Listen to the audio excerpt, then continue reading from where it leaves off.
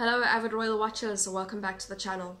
In today's news, Lucy Hale shared her close encounter with Meghan Markle and how they almost starred on one show together.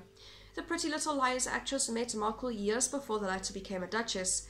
According to Hale, they worked on an unaired pilot. She was mesmerized by Markle's beauty, but she never spoke with the duchess because she didn't have any scenes with her. I didn't realize this because none of my scenes were with her, but it was one, an ABC pilot. And it just moved to Los Angeles. I was like 16, Hale told Entertainment Tonight. It was called Secrets of a Small Town, and she was in the pilot. I remember at the table, read, read I was like, oh my god, she's so beautiful, but I don't think I ever spoke to her.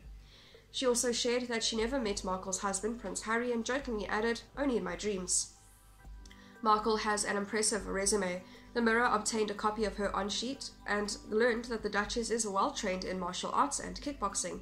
She could also do ballet, jazz, and tap dancing. Furthermore, Markle can speak multiple languages, including Spanish and French.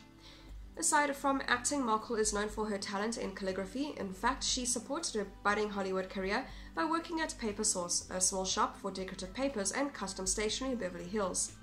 She used to teach a two hour calligraphy class and also did calligraphy for celebrity correspondence.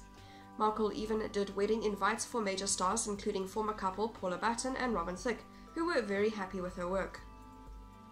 I just thought Meghan did a beautiful job, Patton told Town and Country. It's really a lost art, and it was so nice to create something without a device that doesn't use a battery or need to be plugged in. In related news, according to royal expert Katie Nicholl, Prince Harry and Markle have always wanted to be international royals, and so living outside the UK and working overseas have always been in the cards for them. However, she was surprised by how fast they were able to accomplish it. That is all for today's news. Thank you very much for watching. I'll see you next video.